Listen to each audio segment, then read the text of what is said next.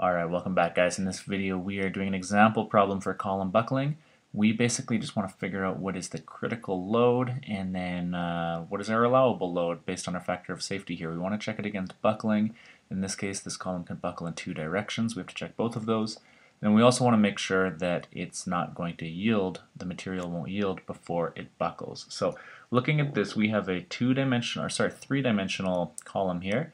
Um, and we're talking about this as pinned joints, a pin on each end. So we will basically treat these as ball and socket joints. So they're able to basically this pin, it's like a pin in 360 degrees. Um, but because this rectangular cross section um, has kind of two distinct uh, ways it can buckle, it can buckle uh, basically in the the YZ plane. So sort of as we're looking, it's left. It can buckle from left to right or right to left, like that way or it can also buckle in the XZ plane. So basically going kind of into the page that way or kind of out of the page that way. So um, basically what we need to do is we need to first figure out what our effective length is. Now in both, considering both planes it can buckle in, uh, it's, uh, it's considered to be pinned in both of those directions. So our effective length, no matter how we look at it, uh, is going to be just the actual length of the column because it's that pin connection. Now that came from the previous videos where we're talking about different end connections, but in the next videos we'll do different examples. So for now, effective length is equal to the length where we have pin-pin connection on this column. Alright, the next thing that we need to do is we are going to be using this expression here that is, um, we're going to be looking for the, the P crit, the critical load that's going to basically um, be where the column is going to have the tendency to buckle, so that is equal to that is pi squared EI um, over LE squared. So we need to figure out what the moment of inertia is. And because we have this rectangular cross section, uh, we're gonna have to take uh, we're gonna have to figure out two different moments of inertia depending on which way we're we're thinking about this column buckling. So uh, for the moment we're gonna use uh, we can calculate you know let's yeah let's calculate it up here.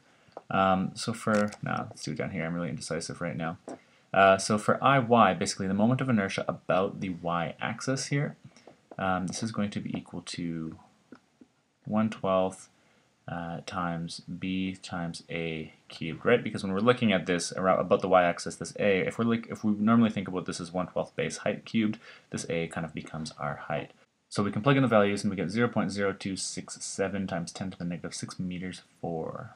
And then we can also find the moment of inertia about the x-axis, which is what we're going to be using for buckling in the xz plane. And uh, we find that to be equal to 0.1067 times 10 to the negative 6 meters 4. So now we have everything we need to find the critical uh, the critical load in buckling in the each plane, basically in the YZ plane and the XZ plane. So let's go and plug those in. So we have P crit uh, let's consider buckling in the YZ plane first. And again, YZ basically could buckle that way or it could buckle that way. Um, so we just need to sub in that we have pi squared E. And in this case, we're using IY, right? The moment of inertia about the y-axis. And then this is over LE squared. So if we just plug that in, we're going to find that in the YZ plane that P crit is equal to 5.9 kilonewtons. Then when we check for P critical in the XZ plane, we're going to have to basically just redo this expression. So we have P crit in the XZ plane, and uh, that's just going to be equal to pi squared EI, and this is this with the subscript x because we're looking at the moment of inertia about the x-axis now, uh, and this is over LE squared. So we're just going to find that that is equal to 23.4 kilonewtons. And now what we want to do is we just compare the two different critical loads. So we have for buckling in the YZ plane, the critical load is 5.9 kilonewtons. And for buckling in the XZ plane, uh, our critical load is 23.4 kilonewtons. And intuitively this makes sense. The skinny, basically we're saying that we need a, a smaller load here to make a buckle in the direction that has basically um, a smaller amount of material um, basically around that axis.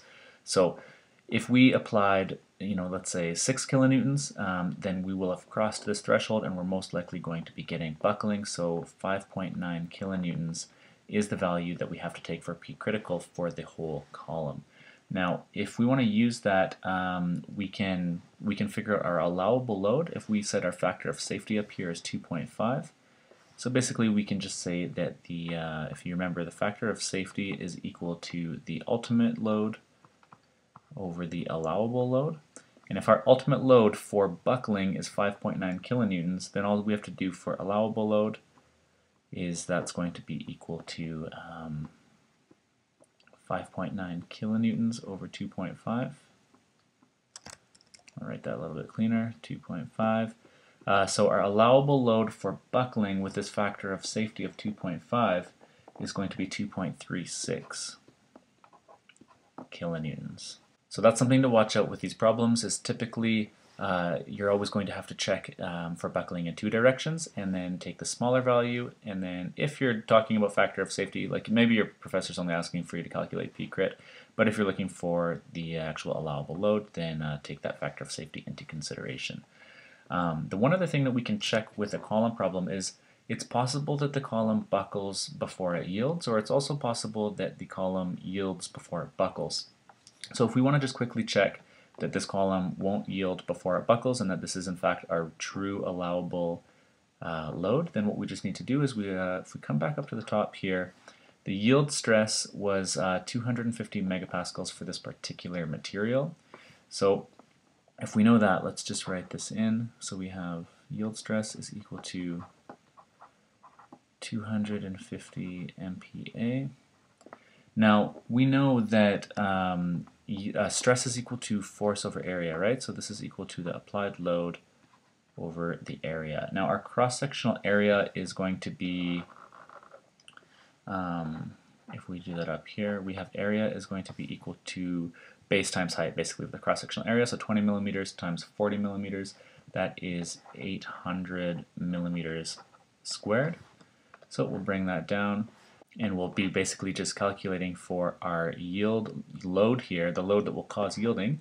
So just multiply area to that uh, to that yield stress, and we're going to get this expression here where we have um, that yielding load is going, or the ultimate load basically is going to be equal to uh, 250 MPa times, and you know what, I, I like to write out the units like this, so 250 uh, times 10 to the 6 uh, newtons per meter squared times that area which was 800 millimeters. That's also just 800 times 10 to the minus 6 meters squared. So those meters are going to cancel out.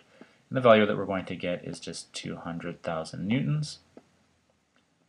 200,000 newtons which is equal to basically 200 kilonewtons all right, so if we take, this is our yield, uh, this is our ultimate load.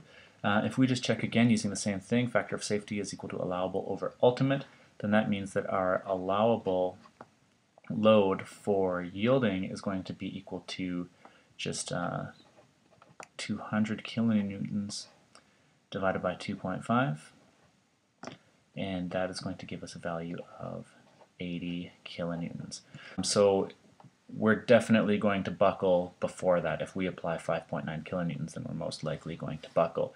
And uh, that's uh, you know that's important to look at because if you look at this column, it is quite long, right? It is three meters long, and it's very slender. So it's a very slender column, and very slender columns are very prone to buckling.